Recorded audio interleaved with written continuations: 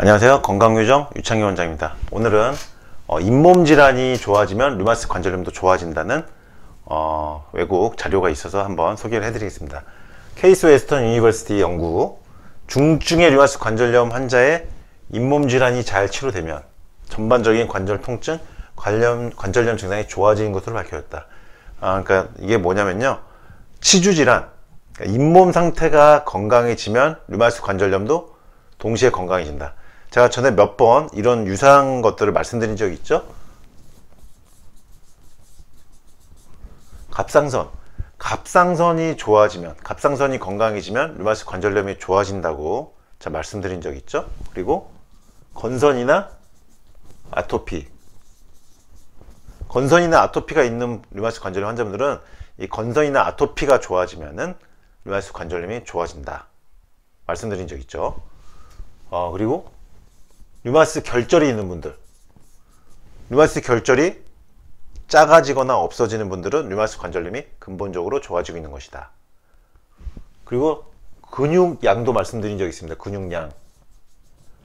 근육량이 감소하는 분들은 류마스 관절염이 나빠지고 있는 것이고 근육량이 증가하는 분들은 류마스 관절염이 좋아지는 것이다. 근육이 좋아지면 류마스 관절염도 좋아지는 거다. 이런 연장선상에서 생각을 하시면 되겠습니다. 잇몸, 치주질환이 좋아지면 잘 치료되면 전반적인 관절 통증과 관절염 증상도 좋아지는 것이다. 그래서 뭐 갑상선, 건선 아토피, 근육량, 류마스 결절과 마찬가지로 잇몸 질환도 잇몸의 상태가 건강해지면 류마스 관절염이 좋아진다는 것. 그러니까 만약에 지금 어, 영상을 보시고 계신 환자분들 중에서 잇몸이 점점 피가 나고 어, 무너지고 약해지고 있는 어떤 건강, 치주 건강이 나빠지고 있는 분들, 잇몸의 염증이 심해지고 있고 치주가 약해지는 분들은 류마스 관절염 상태도 관절의 상태도 뼈의 상태도 좋지 않다. 그래서 잇몸, 잇몸 건강의 상태는 뼈, 뼈 관절 상태라고 보시면 되겠습니다. 그래서 잇몸이 좋아지면 관절 류마스도 좋아진다는 거 꼭 기억하시고요.